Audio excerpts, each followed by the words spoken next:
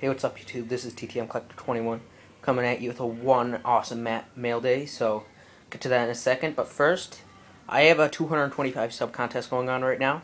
I've talked about it before, but if you haven't gotten in it already, I'll put the link down below. Please go get in it and give me a sub if you haven't already. And uh, yeah, just get in my contest.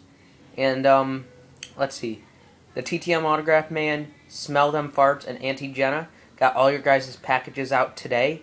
So, just let you know if you watch this video. And yeah, let's get right into the package. He wrote TTM21 thanks, and it's coming from Saint Saint well St. Louis Cardinals fan 202. So I'm gonna put his link down below. Please go give him a sub. All right. And here's the card I got. Oh, and he threw it in a magnetic, but it was a little dirty, so I put it in my own.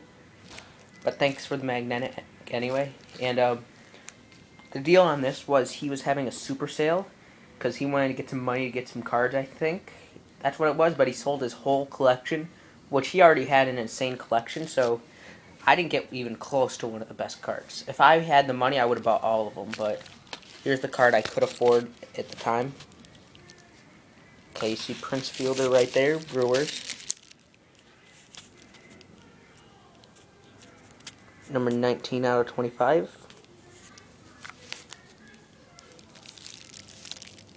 Four break patch. Auto. Boom. Prince Fielder auto patch number 25. This card is absolutely nasty. It's from 2008 Upper Deck Baseball Heroes. He gave me an absolutely insane deal on this.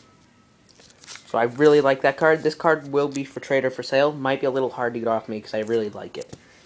Okay, that's my mail day to, for today. Let me know what you think, and that's it for me right now. Thank you for watching.